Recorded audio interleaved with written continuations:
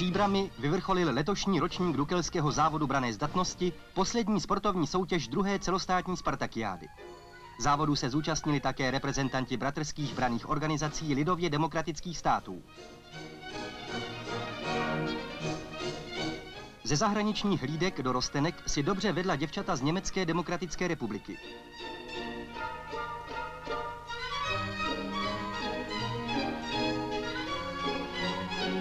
Nejlépe připravena byla však hlídka trutnovských dorostenek Futerová, Karasová a Paloušová, které zvítězily ve své kategorii.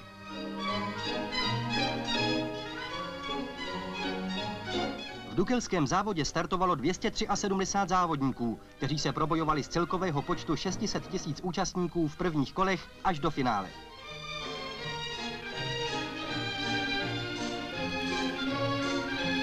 Nejvyrovnanější boje byly svedeny v závodě hlídek mužů.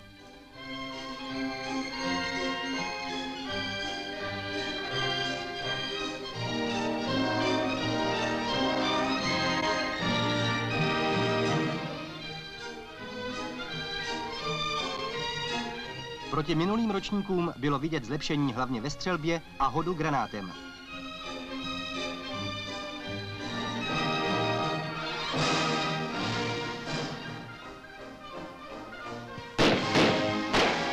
Raných disciplinách byli soupeři vyrovnaní a tak o výsledku hodně rozhodoval čas běhu.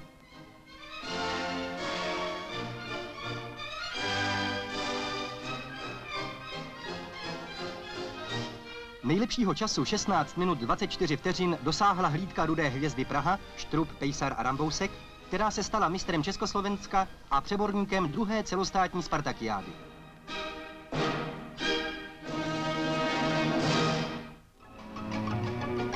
V Dřevěnicích nedaleko Jičína žije necelých 300 obyvatel. Malá obec by mohla být příkladem i pro velká města svou bohatou sportovní činností. Postavili si zde krásné dvorce na odbíjenou a už sedm let sem ráda jezdí družstva ze širokého okolí na tradiční turnaj. Také letos přijelo do Dřevěnic 50 družstev. V boji o prvenství se utkala ligová Dukla Kolín s Jiskrou Jablonec.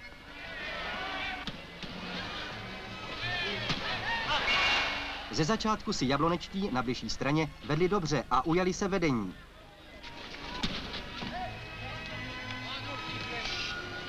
V dalším průběhu se projevovala větší zkušenost kolínských.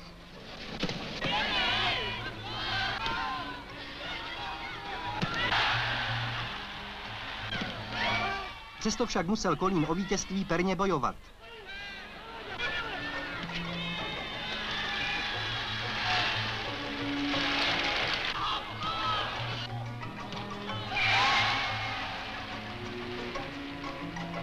Dukla Kolín vyhrála ve finále 2-0 a stala se vítězem sedmého ročníku dřevěnického turnaje.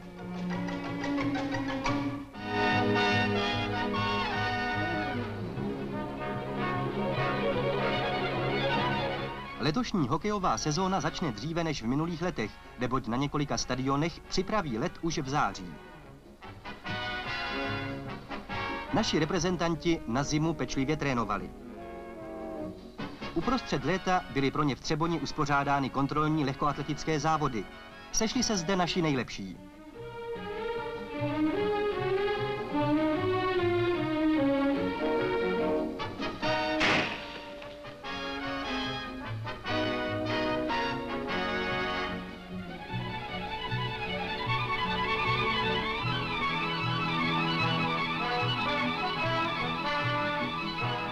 Fyzickou připraveností hokejistů byli spokojeni i lékaři.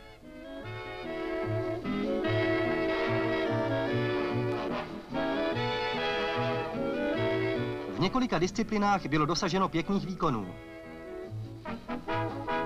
Ve své přípravě budou hokejisté pokračovat až do doby, kdy opět vezmou do rukou hokejové hole.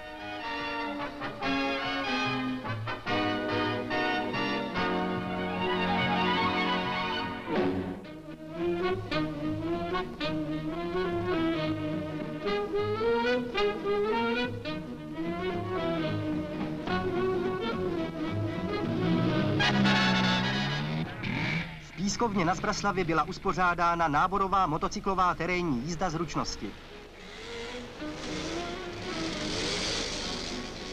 ukázalo se, jak široce je motocyklový sport zakotven mezi našimi pracujícími. Nejezdil tu totiž Čížek ani ostatní vynikající závodníci a přece bylo vidět slibné výkony.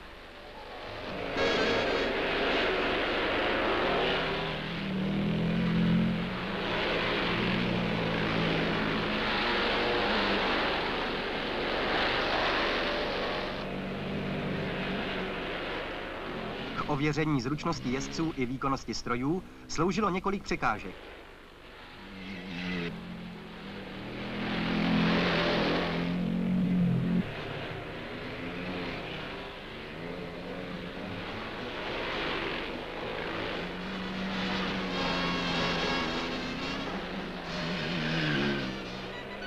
Poslední překážka – projetí branky bez doteku.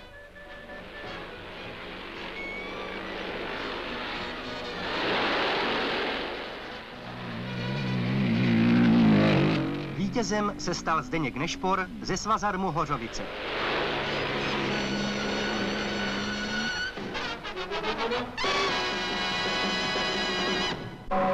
Sport ve světě. Německá spolková republika. Známé španělské mužstvo Real Madrid dres bílý hostovalo v Kolíně nad Rýnem. Brzy se ujalo vedení. Němci však zanedlouho vyrovnali. Potom předvedli hráči Madridu řadu technických kousků.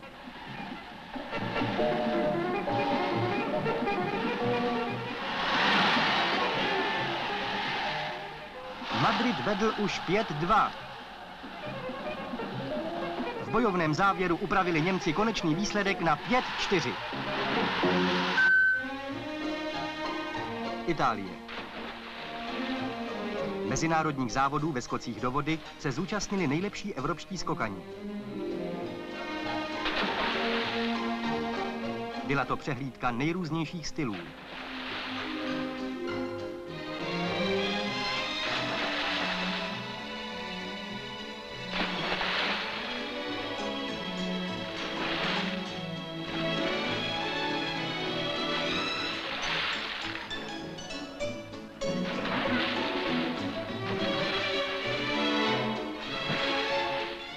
Vítězem se stal Ital z.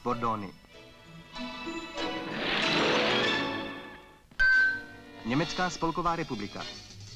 Letošní typické letní počasí všude řádně zkoušelo sportovní diváky. Zvlášť mokré podmínky měli návštěvníci automobilových závodů o velkou cenu Německa. Na 230 km dlouhé trati čekal závodníky velmi těžký úkol.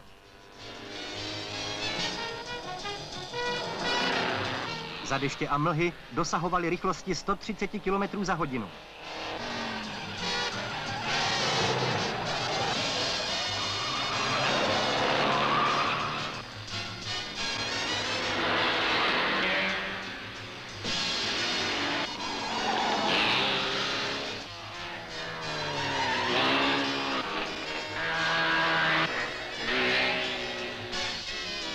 Jako první projel cílem Švéd Bonnier na voze Porsche. Rakousko. Ve Vídni bylo uspořádáno mistrovství Evropy na vodních lyžích. V soutěži žen zvítězila Italka Castelvetriová.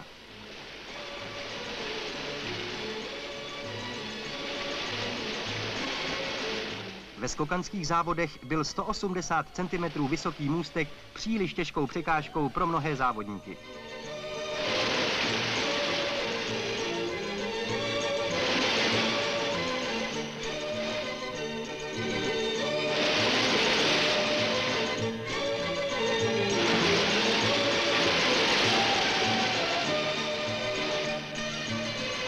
Mistrem Evropy se stal Ital Bruno Zaccardi.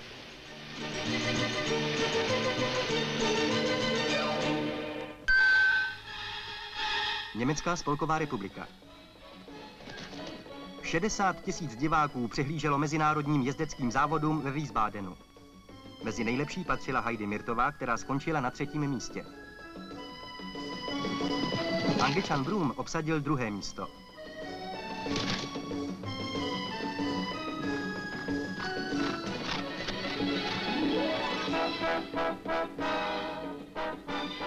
Američan Steinkraus.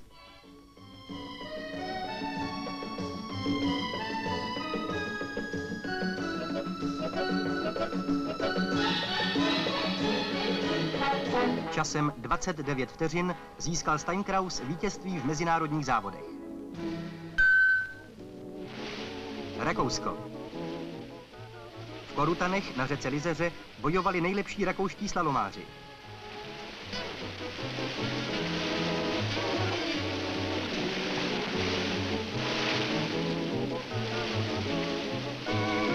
V mohutných peřejích předvedli všichni startující statečné výkony.